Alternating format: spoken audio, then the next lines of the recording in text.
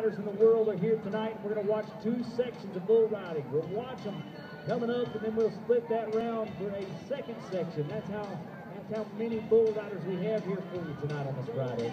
Included in those are world champion Cody Lostro. So many great ones. Kason, come watch. With him. Clayton Foltyn, Brett Stall. So many great bull riders here tonight. Here is man, Dave Polk in Irville, Illinois. We don't want to don't want to not pay attention to our tie down calf ropers right now because this guy can do it.